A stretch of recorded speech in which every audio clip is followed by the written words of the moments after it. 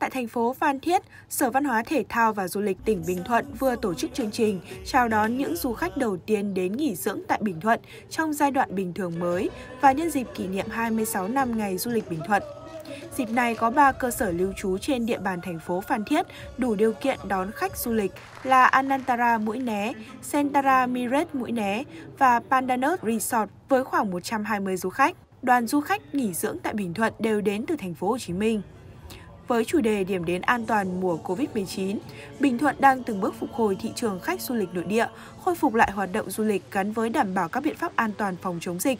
Lộ trình mở cửa đón khách du lịch sẽ được thực hiện theo hai giai đoạn là thí điểm đón khách du lịch và sau thời gian hoạt động thí điểm với địa bàn triển khai, chủ yếu là tại thành phố Phan Thiết, các địa phương còn lại tùy thuộc vào điều kiện thực tế để xem xét việc mở cửa đón khách thí điểm.